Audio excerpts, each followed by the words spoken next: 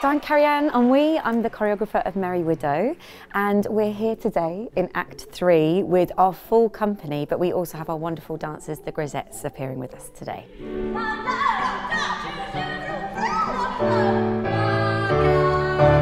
I came to Merry Widow kind of through a musical theatre vein. I did the choreography for Six the Musical, I also work as the associate choreographer on Hamilton and through some of those productions I've been able to meet Cal, the director, through a mutual friend and uh, we really wanted to work together and here we are and it's incredible.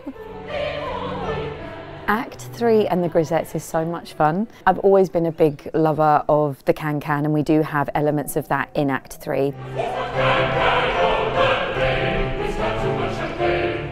They're such talented dancers and we really get to show off some original tricks, some choreography that I've done in the vein of the can-can. They're a wonderful bunch and it's just a really exciting sort of cherry on the top of the opera, I think.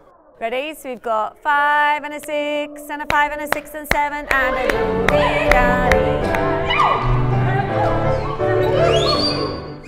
I really, really liked about it is that it was going to be a comedy, and obviously Cal is known for his comedy. It's a laugh a minute. It's always really spontaneous in rehearsals, and it's just been really fun trying to get people do varying different dance styles. So choreography Merry Widow, you're going to get waltzes to waacking, you're going to get folk to fan kicks. There's like a little something for everybody. And it's quite nice because each act has quite a different flavour. So it's been fantastic to actually navigate and work on my first opera, Merry Widow at Glyndebourne.